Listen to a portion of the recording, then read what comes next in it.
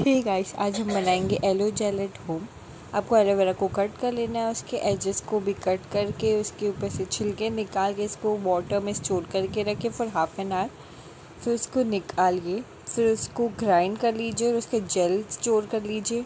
ये है हमारा प्योर एलो जेल अब आपको इसको कैसे यूज़ करना है? आप चाहे इसे तो एज इट इज़ अपने फेस पे लगा सकते हैं, या तो आप बाउल लीजिए, इसमें three spoon aloe vera gel two spoon of rice water लेना है आपको। उसे अच्छे से मिक्स कर लेना है। फिर उसके बाद हम लेंगे रोज़ वाटर रोज़ वाटर हमें सिर्फ़ वन स्पून लेना है। फिर उसे अच्छे से मिक्स कर लेना है। फिर हम लेंगे टी टू एसेंशियल ऑयल उसके थ्री ड्रॉप्स ऑफ़ डालेंगे। फिर हम विटामिन ई e की कैप्सूल लेंगे एक। फिर हम कुछ स्ट्रेंथ ऑफ़ सेफ्रॉन लेंगे।